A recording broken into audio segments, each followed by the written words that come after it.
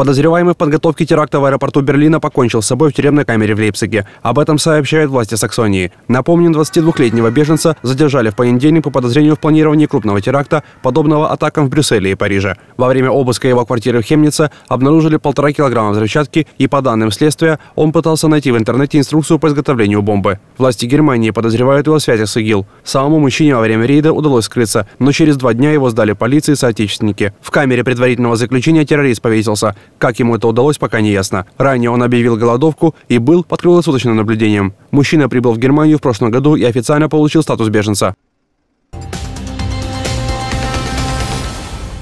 Пять с половиной миллионов украинских семей оформили или переоформили субсидию. Об этом заявил вице-премьер-министр Павел Розенко. В последние недели сохраняется тенденция к увеличению числа обращений. Только на прошлой неделе было более 82 тысяч. Розенко сказал, ожидаемое количество семей, которые обратятся за получением помощи государства в отопительный период, составит 8,5-9 миллионов. Непогода оставила без электричества 276 населенных пунктов в 11 областях Украины. Об этом сообщают в Государственной службе по чрезвычайным ситуациям. Больше всего отключений в Одесской области – 151, 53 в Николаевской, 20 в Хмельницкой, 12 в Херсонской, 10 в Винницкой. Меньше в нескольких других регионах. Бригады облэнерго восстанавливают электроснабжение.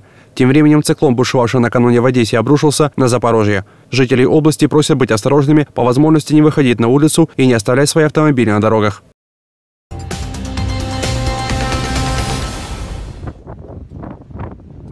К Бермудским островам вслед за мощнейшим ураганом Мэтью приближается другой, Николь. Он образовался над Карибским морем и уже усилился до опасной четвертой категории. Об этом сообщает Национальный центр США по слежению за ураганами. Метеорологи ожидают, что Николь пройдет над островами или вблизи них уже в ближайшее время. При мощности, превышающей третью категорию, он может причинить значительный ущерб в местах, где живут люди. Сезон ураганов обычно длится в Атлантическом океане с июня по конец ноября. В Карибском бассейне, как правило, образуются мощнейшие штормы. Между тем, в столице Бермудских островов Гамильтоне жизнь пока течет своим чередом. Инфраструктура и здания здесь хорошо подготовлены к тому, чтобы выдерживать опасные атмосферные явления. Но все же усилившийся ветер напоминает о приближающемся урагане. Во многих ресторанах, магазинах и других учреждениях закрывают окна ставнями, чтобы уберечь стекла. Согласно прогнозам синоптиков, Николь принесет на Бермудские острова сильные дожди. Недавний ураган Мэтью обрушился на страны Карибского бассейна, а также распространился на часть юго-восточного побережья США. На Гаити его жертвами стало более тысячи человек.